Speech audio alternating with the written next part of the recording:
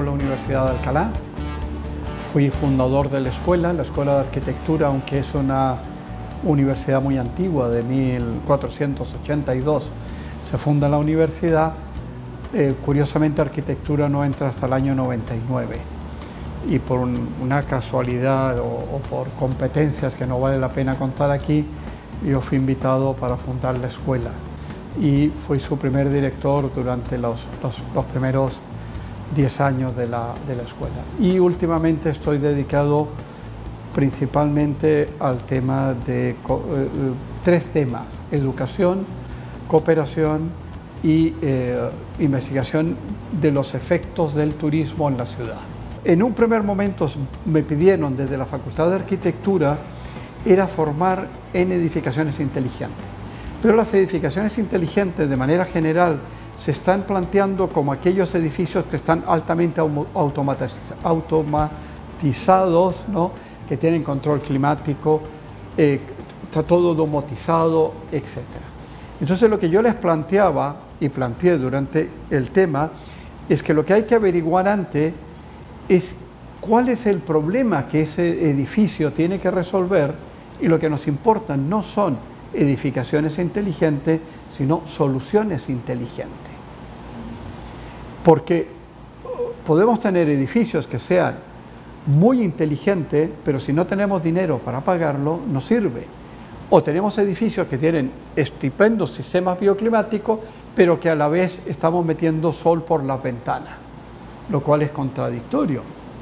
O edificios que no se adaptan a las formas de ser de las culturas locales. ¿No? Aquí eh, eh, vemos, por ejemplo, que, eh, que, hay una costumbre de que la gente, los alumnos traigan comida, ¿no? En otros lados.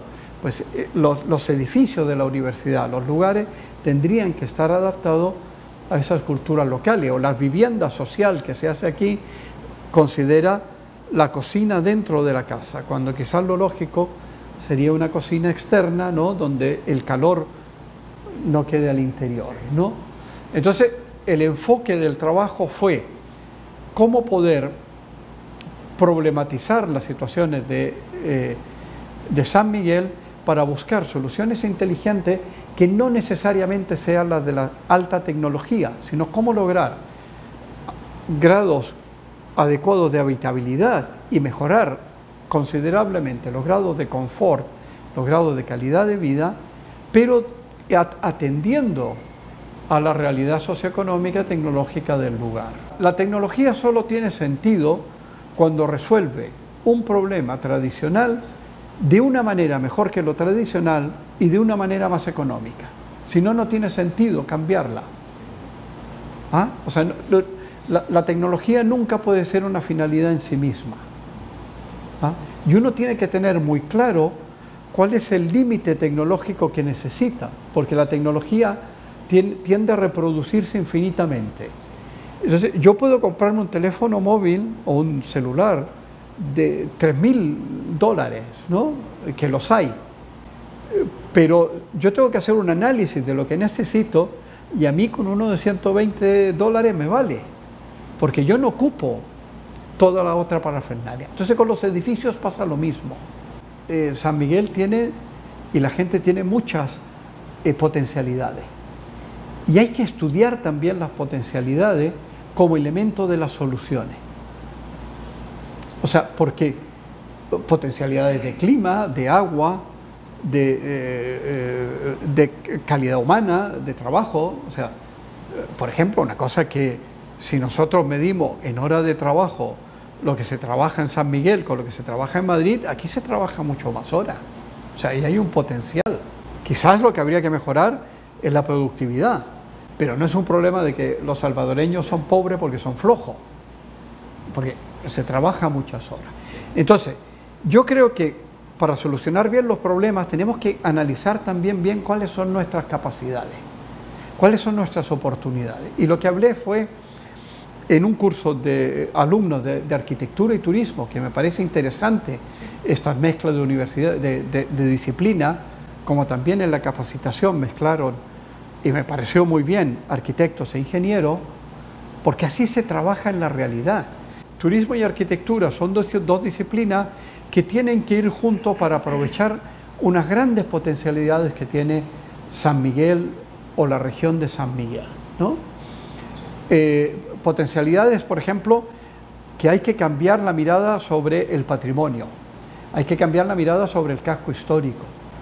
Tiene un centro histórico que a través del turismo, y cuando hablo de turismo no solo turismo extranjero, sino también turismo local, la gente de la propia ciudad hace turismo en su ciudad, la gente de la periferia de Madrid va al centro de Madrid.